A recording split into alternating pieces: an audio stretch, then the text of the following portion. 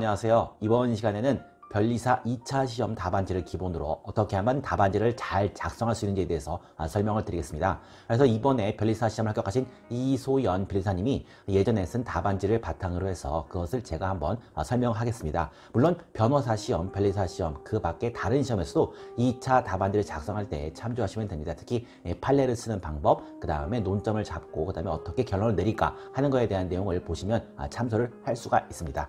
이 답안지 이제 특허법 답안지긴 한데 모든 답 안지가 다 똑같기 때문에 이 법률 답안지를 작성하는 것에 대해서 설명을 드리겠습니다. 사람들이 제일 많이 물어보는 것 중에 하나가 뭐냐면 이런 답안지를 작성할 때 과연 그 앞에 개설, 서론 이 부분을 얼마를 많이 작성을 해야 되는가 하는 건데 이건 이제 쉽지가 않은 게 일단 사람들마다 채점하시는 분마다 다 다릅니다. 그런데 이제 기본적으로 이거를 보는 사람도 있고 아니면 이걸 아예 안 읽는 사람도 있습니다. 근데 대부분 이제 우리가 보통 여러 가지 뭐 콩쿨이라든지 뭐 여러 가지 뭐 노래, 경연대 이런 걸 잘 보면 사람들이 첫 마디만 듣고서 이 감을 잡는 사람이 되게 많습니다. 그래서 이건 어떤 거냐면 이거는 최대한 쓰는데 너무 많이 쓰지 않고 이 문제가 뭐다 라고 하고 핵심적인 단어만 예, 설명을 해서 내가 어떤 걸 쓰고 있고 난 이 문제를 잘 알고 있다는 거는 쓰고 있고 이걸 세 줄 이상 네 줄 이상 쓸 필요는 없지만 최소한 세줄 그때 한 줄만 쓰면 안 되는 게 한 줄만 문헌치면은 이렇게 해버리면 안 됩니다. 그래서 이런 식으로 쓴다는 거고 그 다음에 이제 그 넘어가서 이게 보통 이 채점은 제가 한 게 아니라 이제 학생 답안지를 갖다가 점수를 매긴 거라고 이게 다 그냥 모범은 아니고 그냥 이런 식으로 한다는 거고. 그 다음에 또 사람들이 보면 여기 안에 집어넣기 여기 앞에 2번이라고 쓴 거고 가로 1번이 있고 이런 식으로. 이렇게 안에 약간 들여넣기 써서 꼭 하는 게 중요하고 여기는 띄기 한 칸 띄기가 있는지 없는지는 사실 어, 중요하진 않은데 사람마다 다르니까 공간 들리면 뛸 수도 있고 안될 수도 있고. 그 다음에 이 판례는 웬만하면 한자로 써있는 게 제일 중요합니다. 왜냐면 이 답안지는 대법원 판례 이렇게 딱 써있으면 아 사람들이 아 판례를 썼구나 라고 어, 확인을 합니다. 그리고 이 판례라는 것도 이제 어떤 학생들 중에 맨날 어떤 학생이냐면 판례를 똑같이 외워야 하나요? 이런 학생들이 되게 많은데 이 판례를 똑같이 외운다는 것은 거의 사실 불가능합니다. 제가 예전에 뭐 대법원에서 일을 해봤지만 대법원에서 일을 했던 사람들도 그 판례를 하면 대충 아아 아, 그거라고 말할지 정확하게 뭐 이번 몇조 몇 항에서 이런 식으로 다 아무도 기억 못합니다. 그냥 핵심적인 문구만 하기 때문에 똑같지 아니고 그냥 한 80% 내지 90% 정도 핵심적인 내용으로 구성이 유기적으로 결합된 발명인데 성립할 수 있다. 이런 이런 정도만 쓰면 되는 거지. 이걸 갖다 하는 거고 또 가끔 보면 이제 학생 중에 판례에다가 진짜 판례번호를 적은 사람도 있는데 이걸 보면 신기하다기보다는 너무 이상하다. 이거 어떻게 가능하지? 판례번호는 외우는 사람이 아무도 없기 때문에 그래서 어, 이런 거는 판례번호 적지 않은 것 한번 보는 거고 그 다음에 검토인데 여기 법 이렇게 하는 거 대부분 법은 왜 특허법 뭐 무슨 법라고 웬만하면 왜 보면 여기 이하 특허법 특허법을 법이라 한다 하는 것처럼 한번 해놓고 이하 법을 써버리면 됩니다. 그래서 그것도 시간을 아끼려면 특허법 상표법 이런 식으로 보통 안 하고 이런 식으로 쓰면 되는 거고 그 다음에 이제 검토는 일단 그 태도가 뭐 타당하다 뭐 안 타당하다 사실 뭐 큰 의미가 없고 이게 이게 맞다 틀리다보다는 그냥 판례가 뭔데 어떻게 설문을 작성을 할 건가 하는 내용으로 쓴다는 거 보시면 됩니다. 그 다음에 이제 그 3번 이게 보면 여기 이제 그 정무 이런 식으로 표시를 한 건데 이렇게 어, 돼 있으면 어떻게 볼 수 있냐면 대부분 이제 지배 관리 이런 학설이라든지 판례는 써주는 게 제일 좋습니다. 근데 대부분 학설 판례는 최소한 논거는 두 개 이상, 두 개에서 세 개. 는 논거는 쓸 수 있어야 되는데 사실 이게 말은 쉬운데 쉽지가 않은데 정 안 되면 논거라는 한두 개는 무조건 외운다 라고 보시면 되는 거고.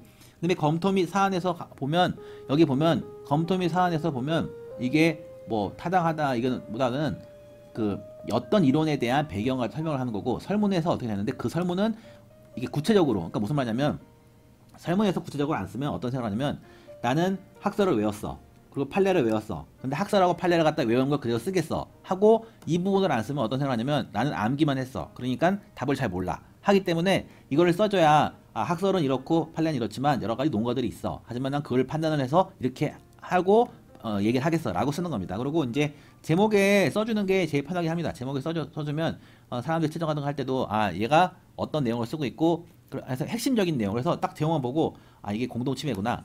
그 다음에 여기는 뭐 실시 행위, 행인가 이런 식으로 어, 쓴다고 보면 되는 거고 학설은 이제 웬만하면 이제 부정설 뭐 객관적 공동설 뭐 이런 건데 에, 이름이야 뭐 살짝 틀려도 항상 없는데 웬만하면 제일 좋은 건 농가까지 좋지만 뭐뭐뭐 해야 할 수 있다. 뭐뭐뭐 해야 한다. 이렇게 돼야 학설 정보는 적어줘야 아, 사람들이 아, 이런 게 있지만 원래 판례라는 거는 어, 학설은 그냥 교수님들이 말하는 거, 판례는 그 중에 하나랑 비슷하거나 약간 달라지는 거기 때문에 어, 어, 보면 되는 거고.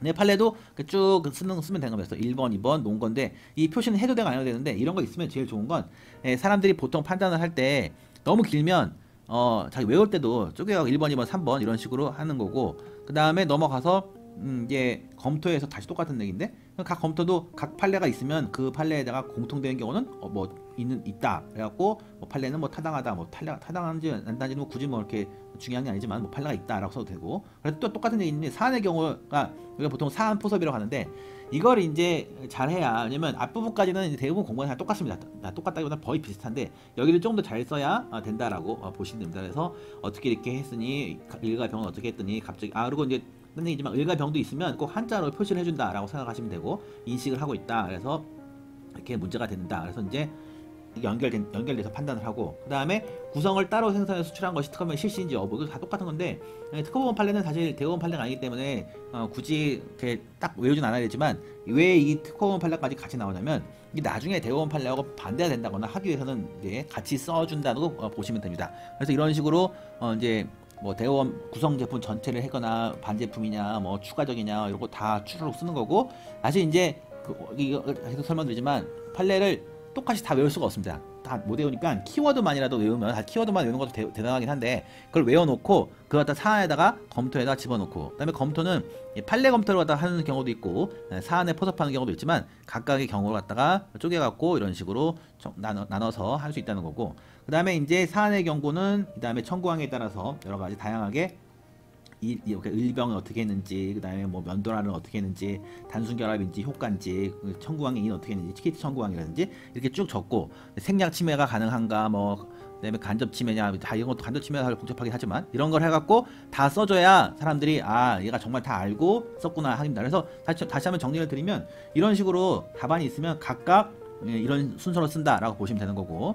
그 다음에 여기 이거는 단문은 단문은 사실 암기입니다 암기. 암기를 해갖고 거기에 다 이게 배점이 다 있- 있긴 한데 의식적 제이론이 뭔가. 그래서 다 하고 그 다음에 쭉 쓰는 거고 의식적 제에서 학설이 일단 뭐고 판례가 뭔데? 이거 만약에 판례가 바뀌었으니까 과거가 어땠고 현재가 어떻게 됐는데 어떻게 바뀌었는지 그래서 왜 바뀌었는지를 적어주는 거고 사실 이건 이제 읽으면 아는데 이걸 쓰는 건 쉽지 않습니다. 그래서 써서 검토는 의식적 제에 이걸 어떻게 쓸 건지. 그 다음에 설문의 해결에서 보면 이것도 이제 어떤 아, 일단 한칸 들여쓰기 하고 이렇게 길게 써도 되고 안 써도 되는데 대부분 사실 많이 써서 어, 많이 써서 좋긴 한데 또 너무 많이 써도 그렇고 이게 조절을 해야 되는 거고 그다음에 설문에 넘어가 가지고는 이 설문 2도 설문 2가 있고 한 칸 띄워주고 그다음에 설문 3도 한 칸 띄워주고 이런 식으로 띈 거고 검토 그다음에 설문의 해결 다 똑같습니다. 판례가 있고 검토가 있는데 요새는 이제 추세가 판례를 갖다가 다 똑같이 외워갖고 다 쓰긴 하는데 판례만 판례는 일단 기본인데 제일 좋은 건 학설도 같이 써주고 왜냐면 학설이라는 게 판례 하나의 전제라 보시면 됩니다. 물론 학설 중에 뭐 지금도 안 쓰는 것도 많긴 하지만 그래도 공부를 하는 입장에서는 아, 판례 학설도 쓸 수 있으면 써줘야 된다라고 보시면 되는 거고요.